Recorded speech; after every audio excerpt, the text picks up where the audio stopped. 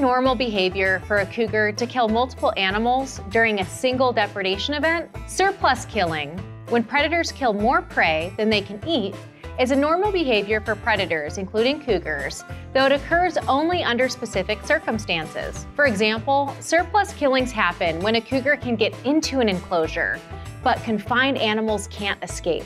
Cougars can easily jump fences less than 8 feet tall and can squeeze through small gaps in enclosures or fall through unsecure roofs. In the wild, when a cougar goes after a group of deer, they all have the opportunity to run and a cougar is lucky if they capture one individual. In an environment when animals cannot run away, a cougar's natural instincts to chase and kill prey can be directed towards every animal that can't escape. This occurs with other predators as well, such as foxes that are enclosed with chickens. A cougar that depredates multiple animals in a night is not bloodthirsty or abnormal, but actually acting naturally under circumstances that are deeply unfortunate for the livestock and for the humans, though they are preventable.